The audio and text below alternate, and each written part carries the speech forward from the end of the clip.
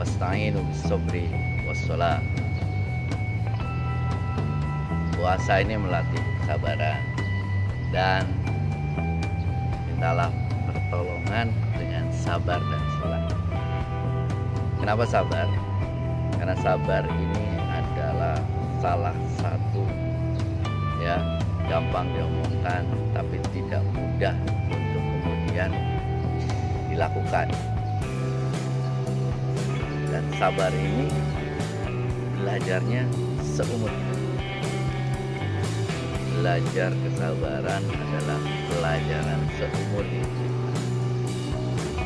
Nanti dari kecil kita diajarin sabar pada saat belajar pada saat kita melakukan sesuatu.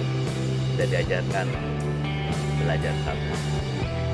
Jadi remaja juga sama kita diajarkan untuk berbuat sabar dan menjadi orang tua itu apalagi kesabaran itu dituntut kita untuk selalu ada dalam setiap fase kehidupan kita. Sabar itu adalah sikap ya. Sikap untuk kita berlapang dada atas segala yang menimpa kita. Jadi sikap untuk berlapang dada bahwa Allah itu sudah menentukan semuanya sudah memberikan satu garis kehidupan bahwa ini yang harus kita terima. Ketika kita sadar bahwa itu ketentuan Allah, kita berlapang dada, berlapang dada untuk menerima semua ketentuan yang Allah telah berikan, telah putuskan kepada kita. Tapi tidak berhenti di situ. Setelah kita menerima, lalu kemudian apa? Lalu kemudian kita mencoba untuk mengambil hikmah dari apa yang terjadi. Mengambil hikmah dari apa yang terjadi sehingga apa? Sehingga membuat kita itu belajar dari kehidupan. Hidup ini banyak mengajarkan sesuatu, banyak mengajarkan pembelajaran hikmah dan tugas kita itu adalah belajar hikmah itu dengan sebaik-baiknya. Sehingga ketika ada satu peristiwa kita menyabari itu mengambil pelajaran mengambil hikmah lalu kemudian kita belajar agar apa? Agar apa yang terjadi ya, tidak kita ulangi.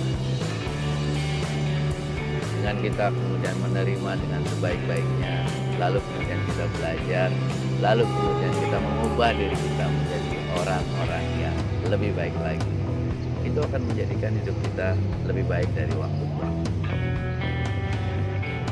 Sabar maknanya juga adalah kita tidak terburu-buru, tidak tergesa-gesa untuk kemudian ingin cepat hasilnya dapat. Karena memang kembali lagi Allah sudah menentukan perjalanannya ini sudah menentukan. Jadi kalau kemudian itu belum sesuai dengan apa yang kita inginkan, sabari saja. Pasti suatu saat kita akan sampai, pasti suatu saat kita akan dapat sesuai dengan apa yang kita inginkan. Allah sudah memberikan yang terbaik buat kita semua. Jadi hidup kita itu apa pun yang kita lakukan sabari saja. Kalau itu belum sesuai dengan apa yang kita inginkan, bisa jadi yang terbaik buat kita juga kalau itu belum sesuai dengan apa yang kita dapatkan. Kalau hasilnya sekarang masih buruk percayalah itu belum berakhir. Karena Allah pengen buat kita itu selalu yang baik. Sabari saja setiap fase kehidupan itu pasti ada tantangannya. Disabari saja. Sehingga ketika kita bisa menikmati setiap fase itu itu akan membuat kita menikmati hidup ini dengan sebaik-baik. Dan di situlah hidup kan menikmati keindahannya menikmati semua perjalanannya dengan penuh kesabaran. Hanya dengan sabar kita bisa menjadi orang-orang yang beruntung kalau nggak sabar pasti semuanya akan berantakan.